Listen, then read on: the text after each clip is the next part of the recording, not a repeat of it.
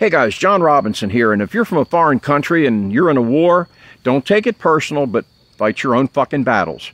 We are busy with our own war, and yes, it is a fucking war. No matter how much the media and the government want to portray it as a civil war, which would be people against people, that's not the case here. This is not the North fighting the South. This is everybody uniting against a corrupt government that illegally makes us pay taxes and then not only violates the Constitution by sending them to you, but then comes back for more. Look, you've already killed the golden goose. The piggy bank is empty. Be thankful for what you got because you're on your fucking own. And the fact of the matter is, what's going to happen in this country is simple. This revolution started a long time ago, a couple decades. When Y2K happened and people realized how inadequate the government was, people started filing exempt on their W-4s, stopping paying taxes outright, telling the government to fuck you. That's why they want this national bank card, which we're not going to let happen because we know if that happens, they'll keep sending you money. It was never our job to promote democracy throughout the world. If you ever think a politician does something for you because he's good hearted, no, it wasn't that. It was to fight communism. That's taken care of.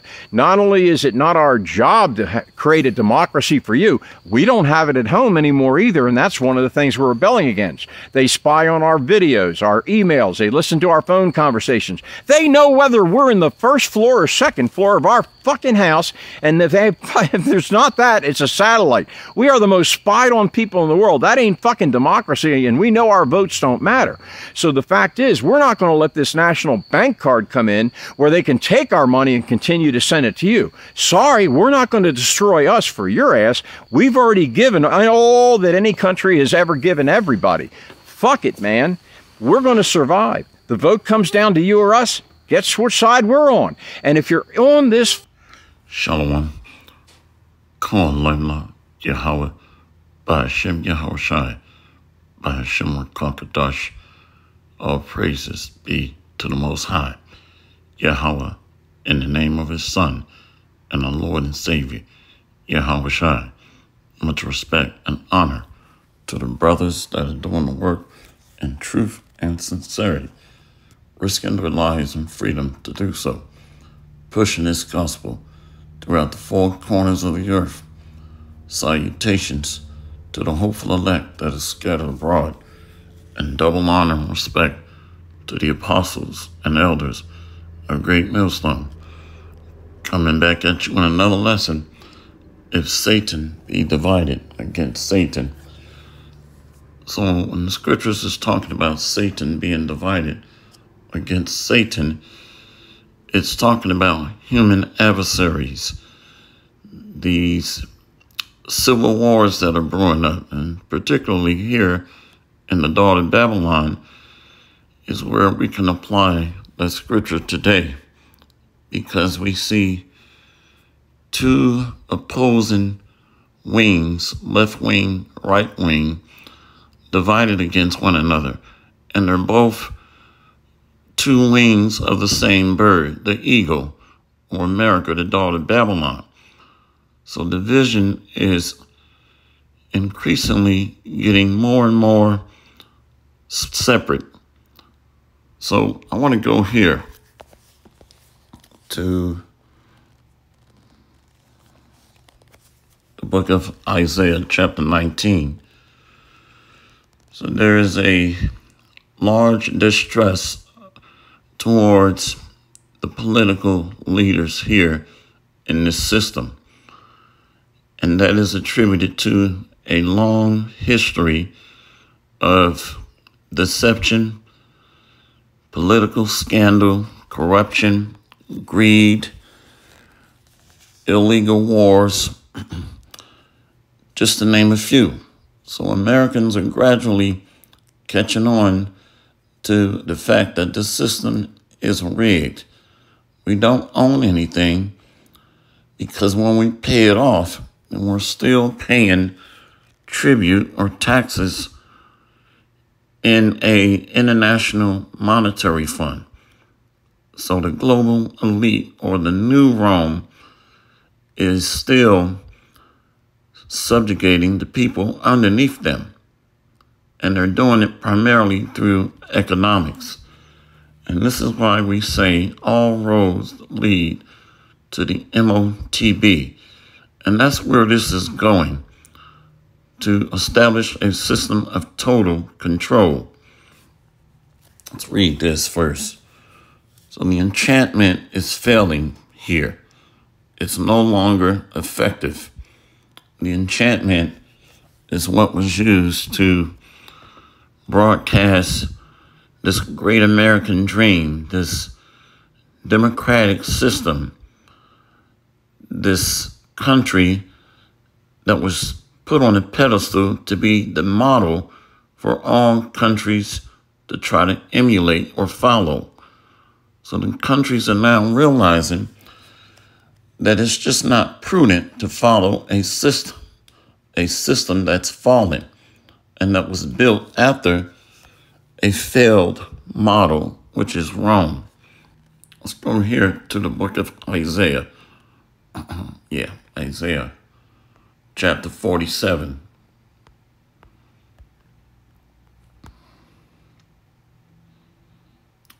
Isaiah 47. Yeah, let's go here. Isaiah 47 and 10.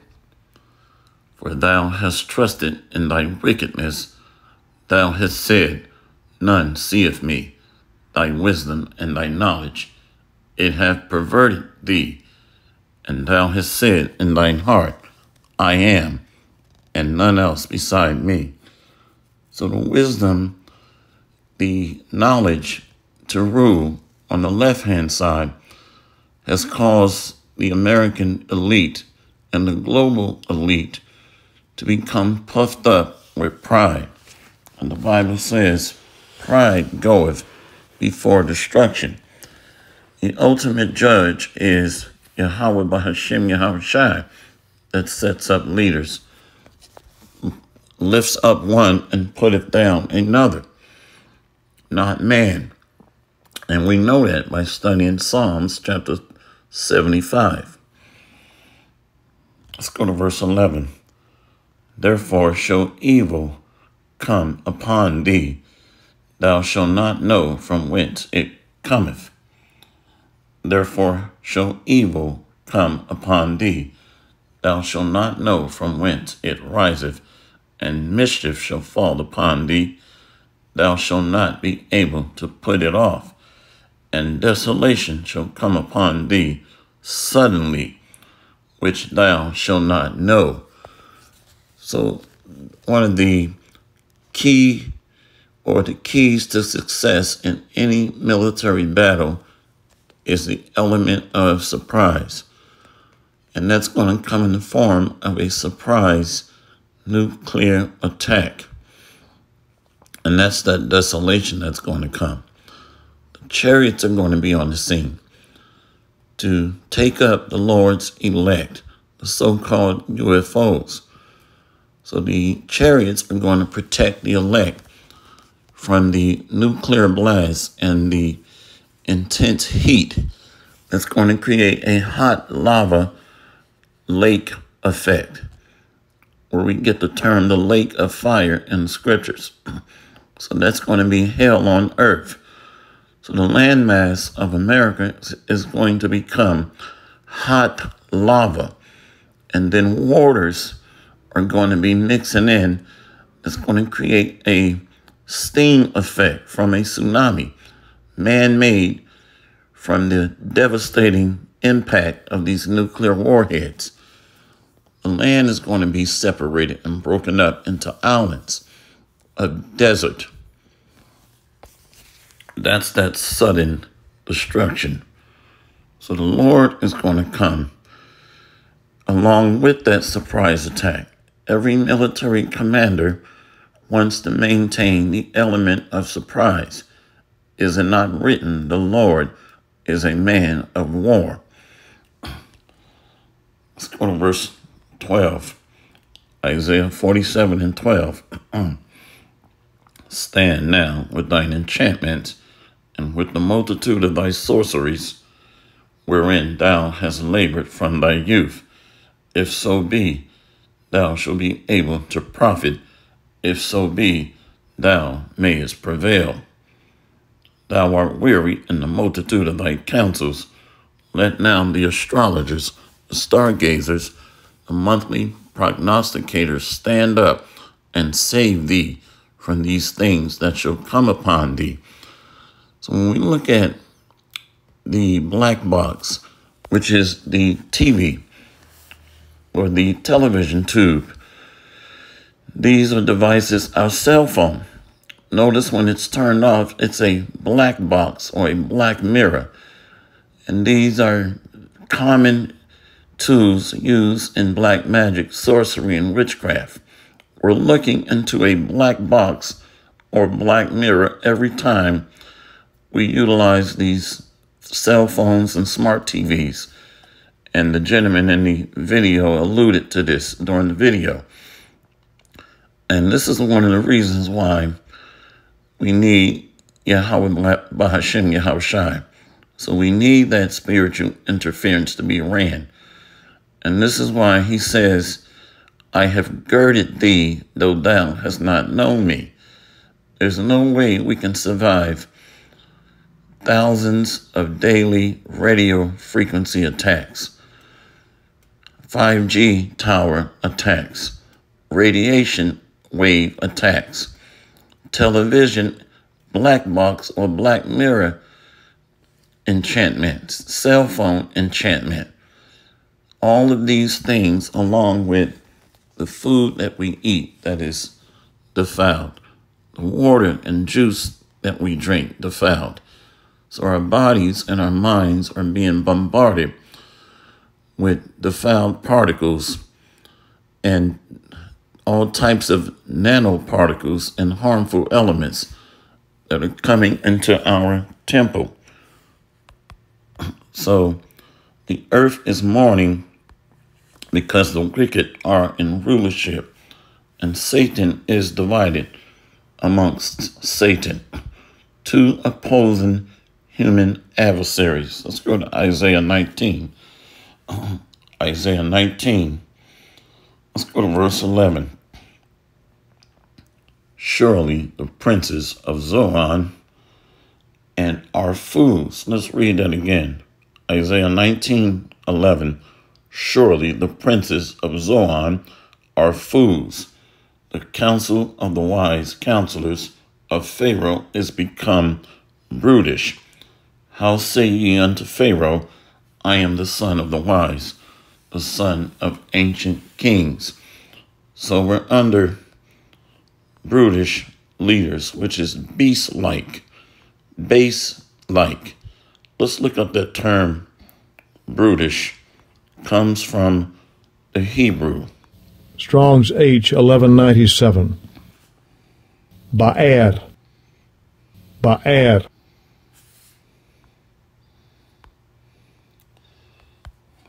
One moment. To become brutish. Yep, that's the right one. Away, waste. Wasteful consuming, wasteful. So this is this gets into the daughter of Babylon or spiritual Sodom in Egypt, living deliciously. And it was fattened up on resources and more than it can actually use. So this is a nation that's described as living deliciously more than enough. but yet we have a homeless population of over 600,000. So something is wrong. The middle class is slowly eroding, and the wealthy elite are getting more and more wealthy. During the previous two and a half years of the pandemic, millionaires became billionaires, billionaires became trillionaires so forth and so on. so America has a direct correlation to the pattern that Egypt followed. Isaiah 19 and 13, the princes of Zoan are become fools. The princes of Noph are deceived. They have also seduced Egypt. Even they that are the state of the tribes thereof. So the man mentioned being deceived by scandalous, greedy, corrupt political leaders. So these princes are officers. Moses was a prince in Egypt, but he abandoned his high position to suffer with his people, the Hebrew Israelites.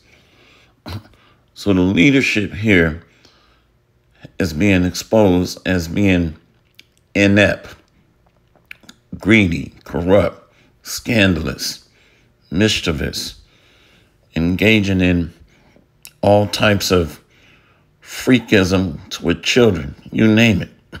So there is a drastic loss of confidence and trust and faith in a system that is just full of corruption. Let's go here, Isaiah 19 and 14. The Lord hath mingled a perverse spirit in the midst thereof, and they have caused Egypt to err in every work thereof, as a drunken man staggereth in his vomit. Neither shall there be any work for Egypt, which the head or tail, branch or rush may do. So we see that now with many jobs going away. And not only that, but the pay is not keeping up with the rising cost of goods. So they're just continuing to print more money. But the reality of the matter is, or the fact of the matter is, the dollar is continuing, the, the dollar is continuing to lose value, continuing to lose its value. And that's what's happening. And this is why we'll see certain volumes of juice or goods decrease, but the price either remains the same or goes up. So the dollar is getting weaker and weaker. Let's go in here to Sirach 19. So there's no wisdom left in Teman or Timan, pursuant to Jeremiah 49 and 7. We'll get to it, Lord willing. Sirach 19, verse 22. The knowledge of wickedness is not wisdom, neither at any time the counsel of sinners prudence. So their princes, their officers, their leaders are practicing wickedness at every level of government, and it's showing. So this is not wise for a ruler to abuse its citizens. Let's go to Sirach 10 real quick. the book of Sirach, chapter 10. The book of Sirach 10, verse 1. A wise judge will instruct his people, and the government of a prudent man is well ordered. As the judge of the people is himself, so are his officers and what manner of man the ruler of the city is, such are all they that dwell therein.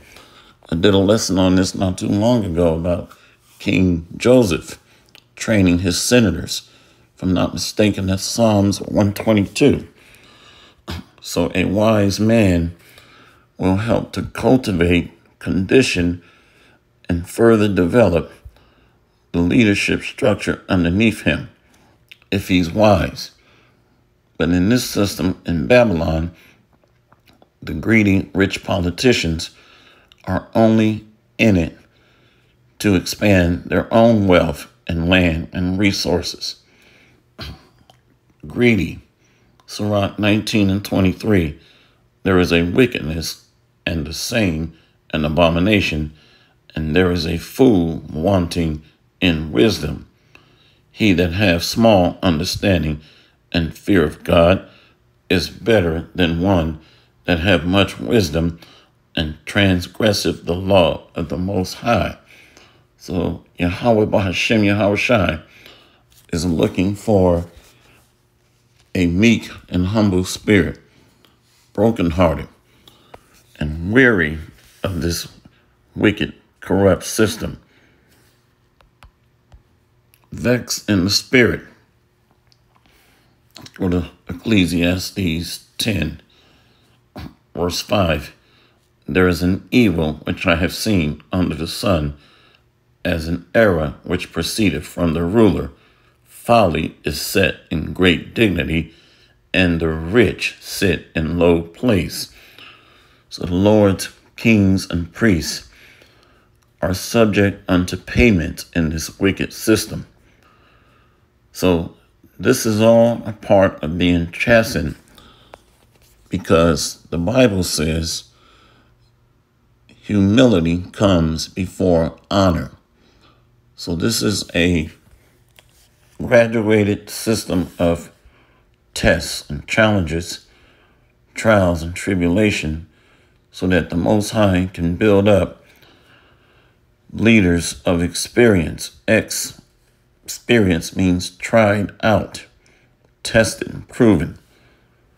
So this is a part of the battle to undergo adversity. Ecclesiastes 10 and 7. I have seen servants upon horses and princes walking as servants upon the earth. And this reminds me of that statue they took down at the uh, Natural Museum of Arts and Science in New York. Theodore Roosevelt, where he had a so-called northern, so-called Native American northern kingdom man on his right side, and a so-called Negro southern kingdom man on his left side. And Theodore Roosevelt was sitting on his high horse.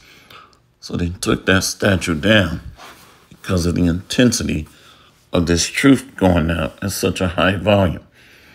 And they're taking down our videos, just like the man said, monitoring our videos, listening to our videos and phones. he that diggeth a pit shall fall into it, and whoso breaketh a hedge, a serpent shall bite him. So the pit that the global wicked elite is big and is building is slavery. They're trying to build a global digital electronic system that forces everyone into permanent servitude through economic bondage, rising cost of goods, the devaluing of the dollar, inflation and monetary spending, rendering the economic base worthless so that they can subjugate the citizens in the slave system through debt. The Bible says that the servant is debtor to the lender or servant to the lender. Let's go here. Proverbs 29, verse 2. When the righteous are in authority, the people rejoice. But when the wicked beareth rule, the people mourn. And that's what's happening right now. there is a cry at the gate. The financial situation is in dire straits. The degradation in morality is getting worse. We're just, every year, we get more and more demoralized. I don't know how many saw it. There was a so called black woman, looked like she was waiting in a line at an airport, and the mini skirt was so short, her entire butt was showing. And there was no underwear on this woman. She wasn't even wearing any underwear.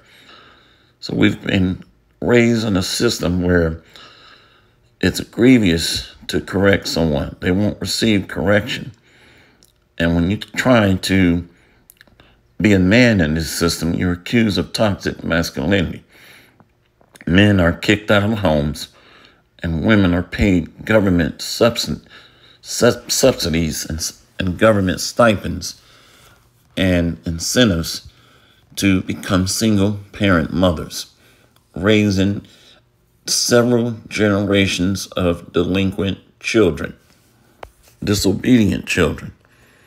So this system feeds into a multi billion dollar privatized prison industrial complex. So it's all a business model. Proverbs 29 and 2. When the righteous are in authority, the people rejoice. But when the wicked bear rule, the people mourn. So the Edomites are in rulership right now. The Bible says in 2nd Ezra 6 and 9, Esau is the end of the world. Jacob is the beginning of it that followeth. So Jacob's hand is holding on to the second leg of the revised Roman Empire, the end, the last standing rulership on the earth, and in the order of the ages or eons of time. So we're in that time. This is the generation that's in the last days under the last ruling empire in which Yahweh Shai would appear. Let's close out with that one. Daniel 2 and 44. The book of Daniel, chapter 2, verse 44. Let's go to verse 41. Daniel 2 and 40. And the fourth kingdom shall be strong as iron, for as much as iron breaketh in pieces and subdueth all things, and as iron that breaketh all these shall it break in pieces and bruise. So Rome is the last ruling empire. And we know that America, the European Union, and NATO is Rome 2.0. And whereas thou sawest the feet and toes, part of potter's clay and part of iron, the kingdom shall be divided. But there shall be in it of the strength of the iron, for as much as thou sawest the iron mixed with miry clay. So some of these nations are just economically collapsed economically collapsing, Greece being one of them. And so this creates a weakness across the alliance because the alliance is only as strong as its weakest link because it has to absorb the debts, the food shortages, the oil and product services, and the shortages in goods and services and supplies. So it absorbs and bears the burden of these nations that are trailing behind. And then it's pulling in other United Nations that it's trying to curve the wealth gap, which just does not work because nations are not they're not all on the same level of productivity or labor efficiency. So it just does not work and it's failing.